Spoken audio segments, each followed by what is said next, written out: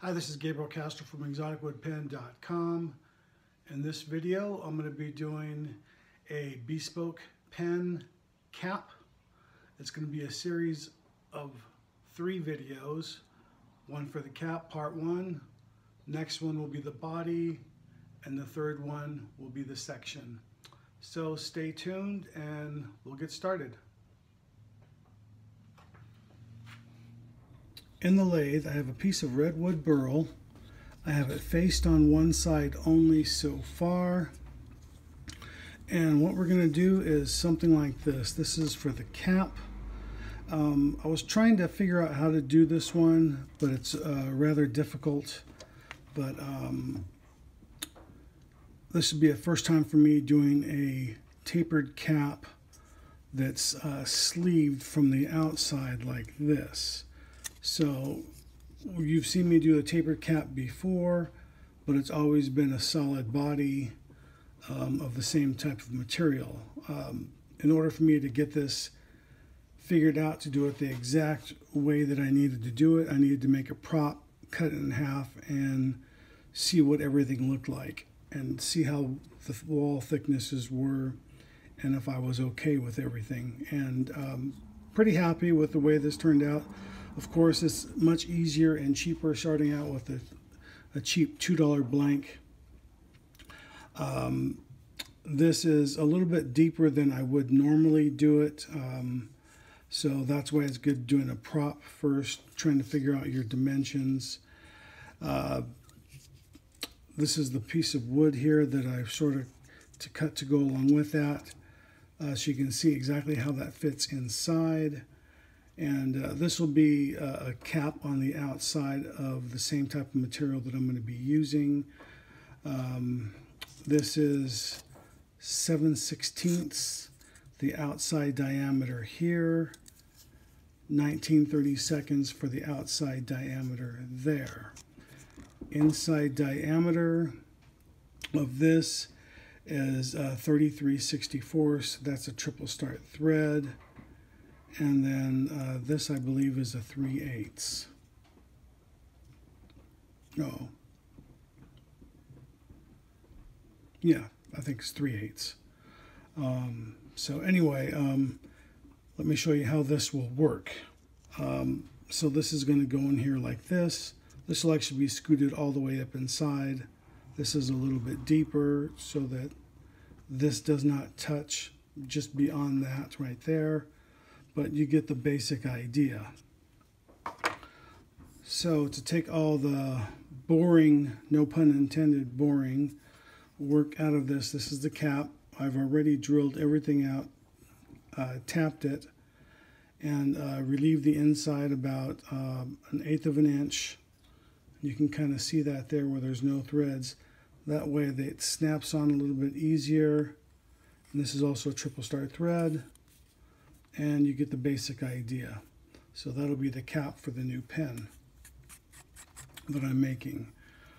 Um, so the lines here that you see are going to correspond with what you see here. Um, this is going to be dropped down from here from her shoulder and then from here this is going to be exposed all the way down to th this uh, 7 16ths diameter which is here 7 16ths and 1930 seconds. So again, that's what I have drilled out here and then step down to the 7 16ths on the interior. So, or excuse me, 3 eighths on the interior and the outside diameter here will be like what you see here, 7 16ths from here to this line and then 1930 seconds to this line here. So anyway, that's what we're going to do here in uh, this video. But first we're going to drill this out here. And I have a 1930 seconds drill bit already in here. And then I just got to make sure that this line is correct uh, before I start drilling.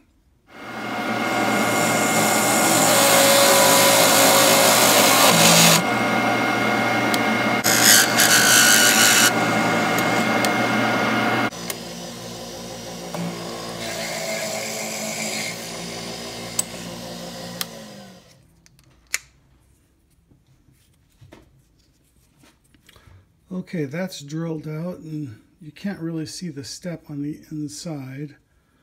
But anyway, if you take this, you shove it inside there, you can hear that hit. And that's uh, pretty good as far as uh, the way I think it should fit on the inside.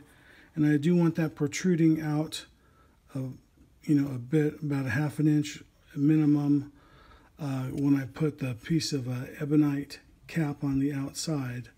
So, and then this is a little bit longer uh, because it's going to accommodate a quarter of an inch right there. So anyway, so far so good. Okay, so the next step is to turn the cap down at this line right here.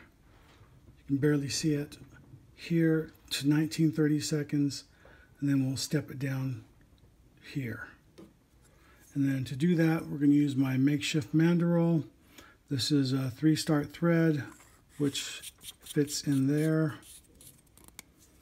And then this is also multi-purpose. You've seen this before, where this is threaded on the inside to accept the body. So this is goes into the three quarter inch uh, collet, a little tight. I have it dimpled on the other side here already for the live sound.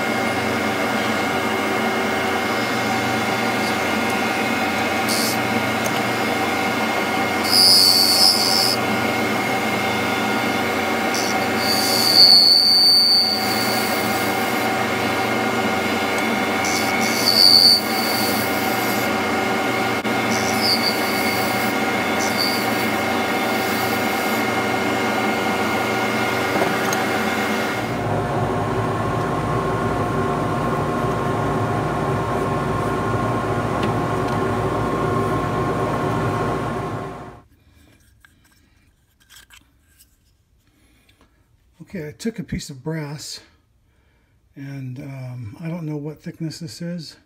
That's a piece of scrap that I had left over. I just drilled this out in the drill press uh, using the same uh, drill bit that I used uh, to drill this out with right here. You can see that that fits in there like that. And that's going to be a decorative ring uh, before I put the wood on. So I've got a little bit of a line. I just need to cut that around that.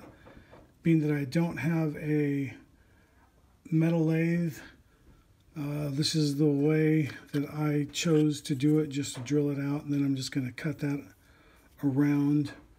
And I'll probably use the uh, metal cutting bandsaw that I have, or actually I just have my regular bandsaw with a metal cutting blade.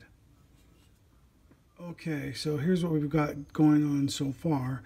On the end, uh, I turned that down a quarter inch by quarter inch tenon and I cut this small piece of ebonite uh, that is a quarter inch by a quarter inch uh, diameter hole to, mit, to fit that like that.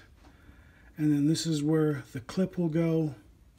These two lines right here, uh, this is the step down and then this is um, the, this end line here. This is actually the bottom of the inside of the of the cap. So kind of like what you see here from a scrap piece that I messed up on. Um, so that's about something like that. Um, this is right here is where the taper is going to be. It's actually about an eighth of an inch further back is where the step is. But then this is where I want to start my taper as I start tapering down that cap. So it's probably about like that.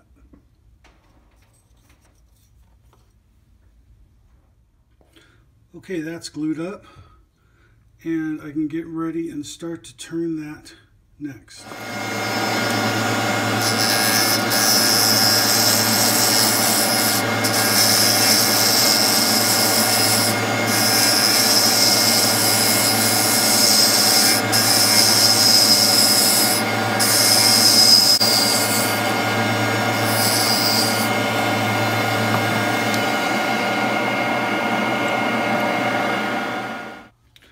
Okay, here's a rough uh, view of that cap. Looks pretty good so far. I just put a couple coats of uh, CA thin on there and I just got to round off the, the end and um, just do a uh, finish with micro mesh on it and then uh, put the clip on and then that'll be good. Okay, I got the clip uh, polished up and shaped to the top. Um, only one way to clamp that down is just using tape, electrical tape to be exact. The holes are, I'm just going to use it to drill these holes and then uh, put the screws on it and then that cap is done. Okay, so let's recap what we did here. Uh, this is just under three inches long total for the cap. And it's pretty close to scale. Um, I use a what I call a stupid stick for measurements.